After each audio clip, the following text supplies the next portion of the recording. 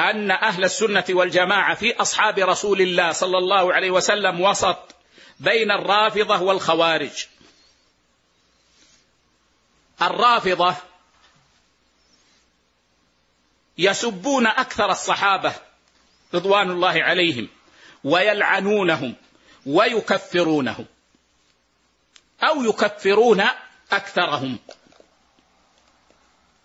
وفي الجانب الآخر يغلون في علي رضي الله عنه وأولاده ويعتقدون فيهم الإلهية أو يجعلون لهم بعض خصائص الألوهية ويصرفون لهم انواعا من العبادات كالدعاء والاستغاثة. هذا جانب الرافضة. والخوارج كفروا عليا. رضي الله عنه وأولاده ومعاوية ومن معهم رضوان الله عليهم فانظروا ترى المقارنة هنا بين الرافضة في موقفهم من علي رضي الله عنه وأولاده والخوارج في موقفهم من علي رضي الله عنه وأولاده. وهم يتفقون على المنهج التفريق بين الصحابة. التفريق بين الصحابة.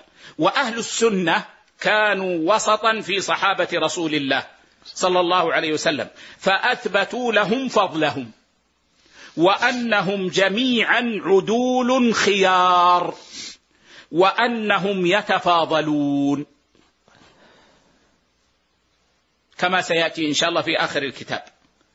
ولا يصرفون لهم شيئا مما لله. ولا يغلون في أحد منهم.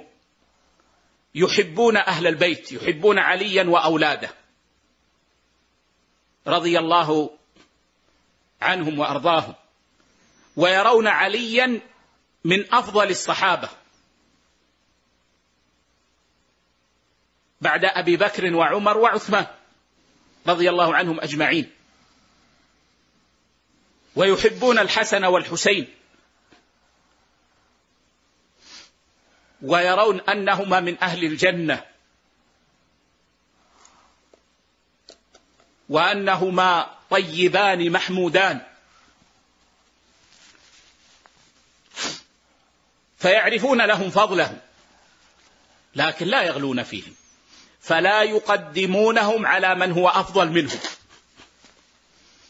ولا يؤلهونهم ولا يصرفون لهم شيئا مما لله عز وجل. وسيأتينا كلام بديع نفيس في آخر الكتاب عن الموقف من صحابة رسول الله صلى الله عليه وسلم.